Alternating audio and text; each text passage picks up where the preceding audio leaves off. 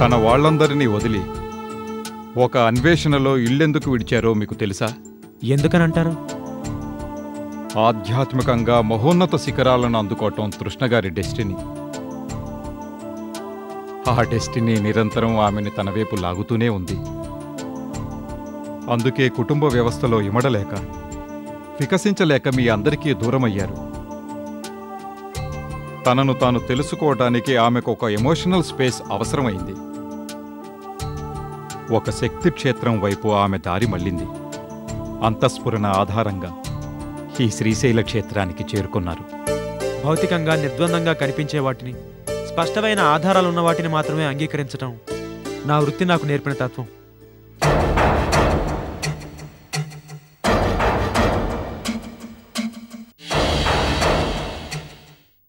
అయినా తృష్ణ గారి కోసం ఇంకా ఎక్కడని వెతుకుతాం ఎంతని వెతుకుతాం? అంతా వెతికేశాం కదా సార్. తృష్ణ గారేమీ బాధ్యత లేని వ్యక్తి కారు. ఒకవేళ హైదరాబాద్ వెళ్ళినా మరెక్కడికైనా వెళ్ళినా చెప్పి వెళ్ళేవారు. ఇలా వెళ్ళారంటే it is something beyond our comprehension. అందుకే సంఘమిత్ర గారి థీరీ ఫాలో అవుదాం అంటున్నాను. ఆలోచిద్దాం. Thank you sir. మరి నేను వెళ్ళనా sir? Okay. Good night sir. Good night.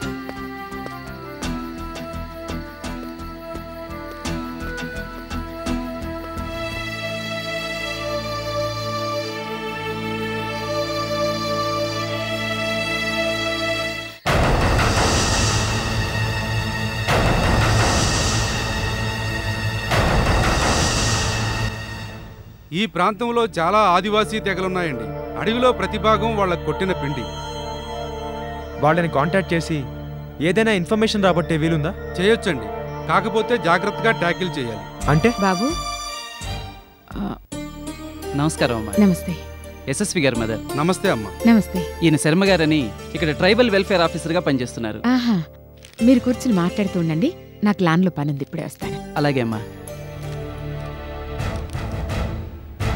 ఈ స్టార్టింగ్ ఏరియా నుంచి కొంచెం దూరం వెళ్ళి అక్కడి నుంచి మొదలు పెట్టచ్చండి. సబూనా సబూనా ఆ,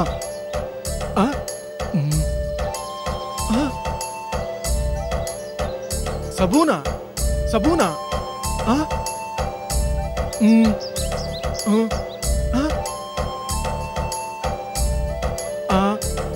సబూనా సబూనా సబూనా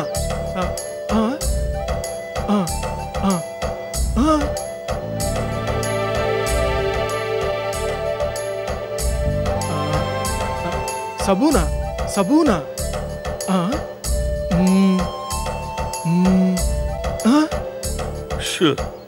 ఒక్క ముక్క ఒక్క ముక్క కూడా నాకు అర్థం కాలేదయ్యా. ఆ, సబూనా సబూనా. తృష్ణమ్మ కురుకురి. తృష్ణమ్మ బాగు. ఆహా కృష్ణమ్మ అని ఒక్క మాట నాకు అర్థమైంది. నా జన్మ ధన్యమైంది. బాగు అంటే మా భాషలో బాగుంది అని అర్థం. మరి మీ భాషలో ఏమిటో? కృష్ణమ్మ గారు గొప్పవారు కాబట్టి నీ సైగల్ని అర్థం చేసుకోగలిగారు. అర్భకుణ్ణి నా వల్ల ఎక్కడవుతుంది ఎవరు భద్రయ్య ఇతను?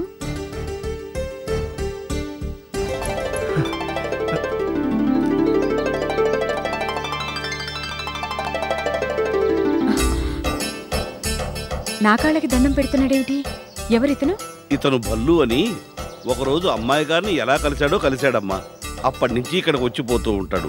అమ్మాయి గారికి ఇతనంటే చాలా అభిమానం అమ్మా. ఇతని దగ్గర బాణాలు వేయడం కూడా నేర్చుకున్నారు అమ్మాయి గారు. బాణాలు వేయటమా? తృష్ణ విలువిద్య కూడా నేర్చుకుందా? అవునమ్మా. ఇక్కడికి వచ్చి నేర్పించిపోతుంటాడు అమ్మాయి గారు కనిపించకపోయినప్పటి నుంచి పాపం చాలాసార్లు వచ్చి అడిగి వెళ్ళాడమ్మా. అది సరే నా కాళ్ళకి ఎందుకు దండం పెడుతున్నాడు అడుగు? అడగడానికి నాకు వాళ్ళ భాష రాదమ్మా. మన భాష ఏమో ఇతనికి రెండు మూడు ముక్కలకు మించి అర్థం కాదు. అంతా సైగలే. ఏమీ అర్థమై చావదు.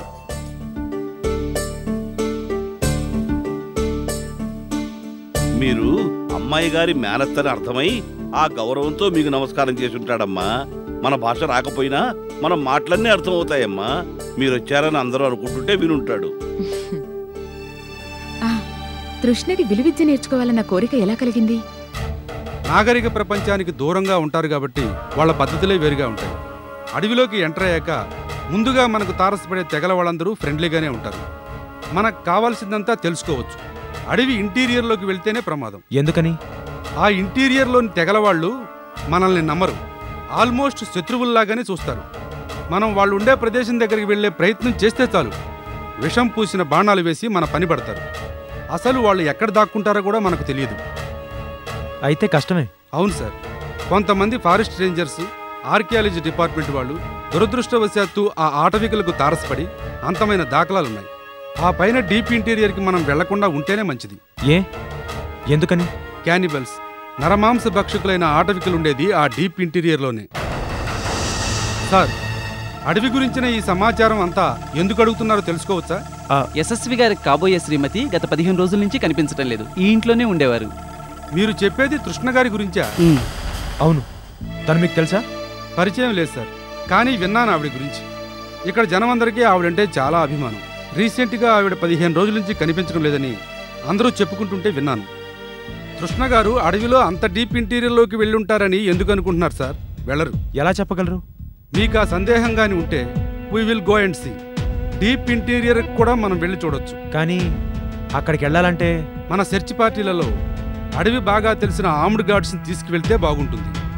కమ్యూనికేషన్ ప్రాబ్లం లేకుండా అక్కడ అందరితో మాట్లాడగలిగే ఓ మనిషిని చూసుకుని వెంట తీసుకెళ్దాం. వీల్సి ఆలోచించి చెప్తాను. ఆ, ఆ, ఏం చెప్తున్నాడో ఏంటో అస్సలు అర్థం కావడం లేదు. మరి అదే కదమ్మా గొడవ? బచ్పా బచ్పా. తృష్ణమ్మ నంగ్ రమింగ్. కరికవో. తృష్ణమ్మ తృష్ణమ్మ. నిన్ను చూసి సీలేరు సీలేరు. పాయో పాయో. ఇందాకటి నుంచి చెప్తున్నాడు. ఏమీ అర్థం కావడం లేదు. చిన్నప్పుడు మీ పాప తప్పిపోయినప్పుడు మిమ్మల్ని తను చూశాట. నన్న? అవును సీలేరు దగ్గర చూశాట. ఆ, అమ్మ కృష్ణ. కృష్ణ. కృష్ణ.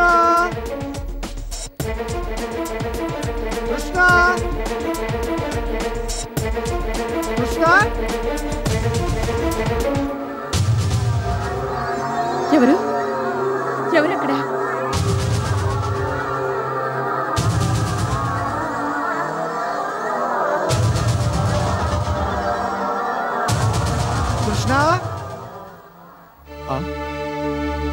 ఎవరితను కంగారు పడకండమ్మా.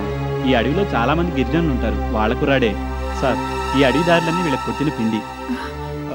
ఒరే బాబు ఇటువైపు చిన్న పాప వెళ్ళడం ఏమైనా చూసావా చిన్న పాప ఇంతుంటుంది? ఎర్ర గౌన్ వేసుకుని. మన భాష వీళ్ళకి అర్థం కాదమ్మా. నేను చెప్తాను ఉండండి. కూనా కూనా చోటా కూనా? చిన్న పాప ఇటువైపు వెళ్ళడం చూసావా చిన్న పాప. పదరా పద.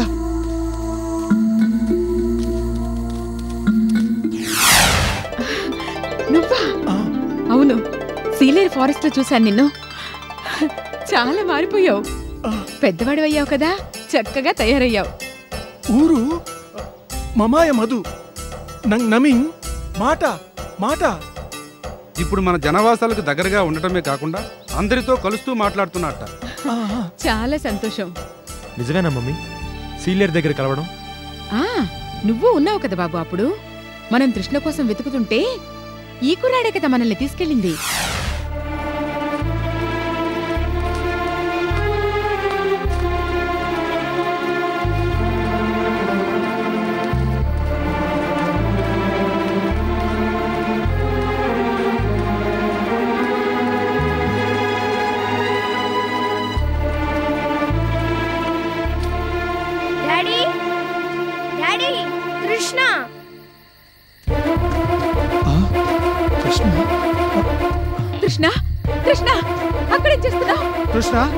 అమ్మ కృష్ణ.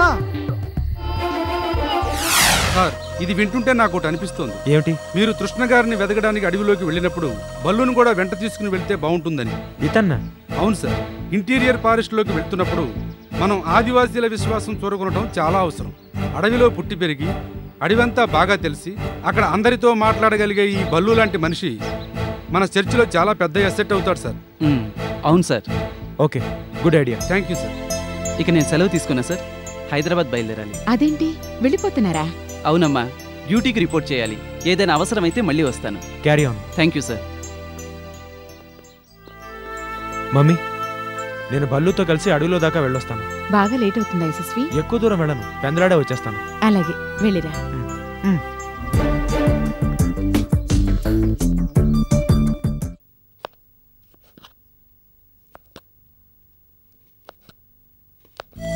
అమ్మాయి గారు వెళ్ళిపోయినప్పటి నుంచి నాకు మనసు మనసులో లేదమ్మా.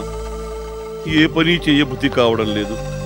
తినాల్సింది నేను ఒక్కడనే కాబట్టి రెండు పూట్లకు కలిపి కాస్త వండి పడేసుకునేవాణ్ణి. మీరొచ్చాక మీ సందడితో ఈ ఇంటికి మళ్ళీ జీవకళొచ్చిందమ్మా అయితే ఆగిపోయావి? చెప్పు.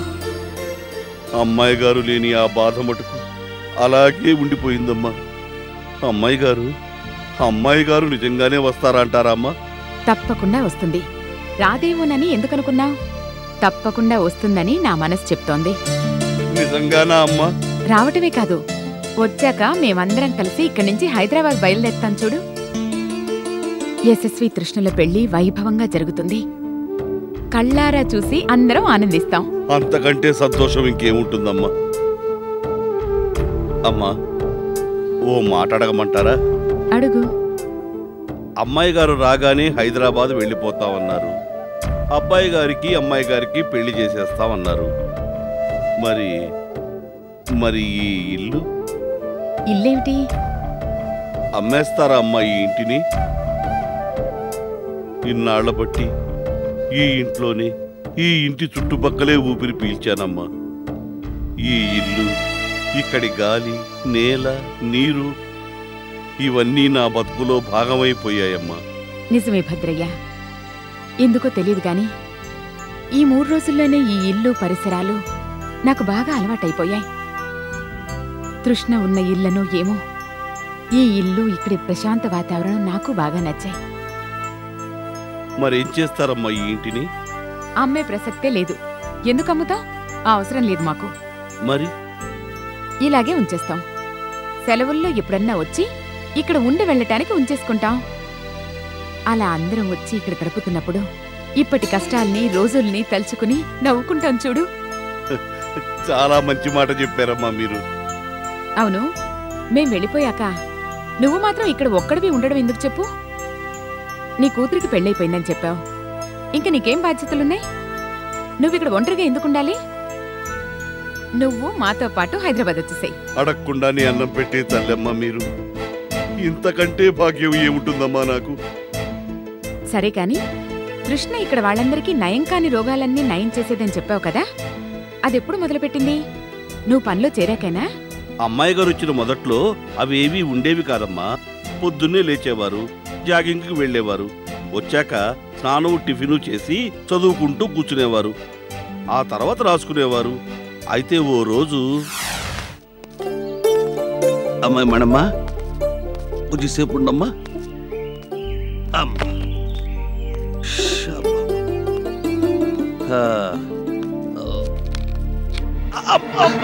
అయ్యా.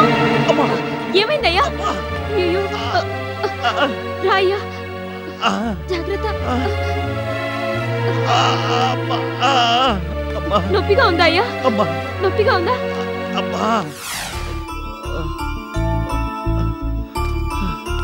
మొక్క చూడు. ఆ మొక్క ఆకులు పువ్వులు కొన్ని కోసుకు తీసుకురా. అమ్మాయి గారు వెళ్ళు. అలాగే అమ్మాయి గారు. అమ్మాయి గారు నూనె.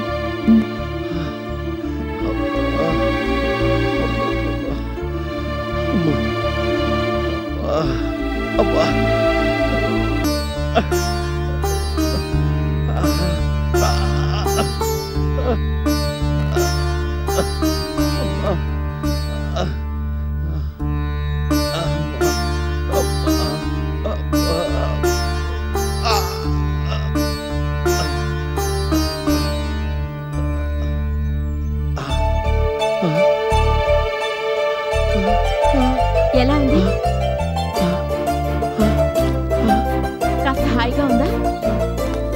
అమ్మాయి గారు. అమ్మాయి గారు నొప్పి తగ్గిపోయింది అమ్మాయి గారు. నిజమా అయ్యా? అవును. చిత్రంగా ఉందే. అలా చాలా మందికి చాలాసార్లు వైద్యం చేశారమ్మా. అమ్మాయి గారి చేతిలో ఏ మంత్రం ఉందో ఏం శక్తులున్నాయో గాని ఎంతో మంది ఆవిడ పేరు చెప్పుకుంటూ హాయిగా ఉన్నారమ్మా. వీటన్నిటికంటే అమ్మాయి గారు చేసిన మరో గొప్ప పని గురించి చెప్పానంటే మీరు ఆశ్చర్యపోతారు. నా కూతురు మణెమ్మకి నిద్రలో లేచి నడిచే అలవాటుండేదమ్మా ఎంత కంగారు పడిపోయేవాడినో ఆ రోజుల్లో. ఈ పిల్లకి పెళ్ళెలా చెయ్యాలని బాధపడిపోయేవాడిని అయితే ఏనాడో పోయిన మా అమ్మ ఆత్మతో మాట్లాడి ఆ జబ్బు నయం చేశారమ్మా అమ్మాయి గారు. ఆత్మతో? మీ అమ్మ ఆత్మతో మాట్లాడడం ఏంటి మణిమ్మకు జబ్బు నయం కావడం ఏమిటి